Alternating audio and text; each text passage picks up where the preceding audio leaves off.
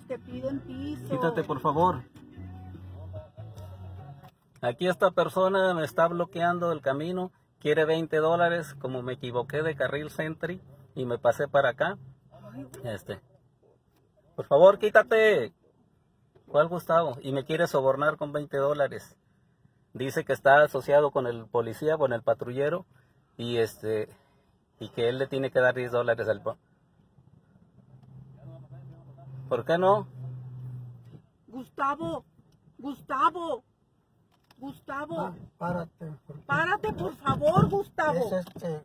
Ellos son malandros, ellos son mafiosos. Son los que piden piso aquí.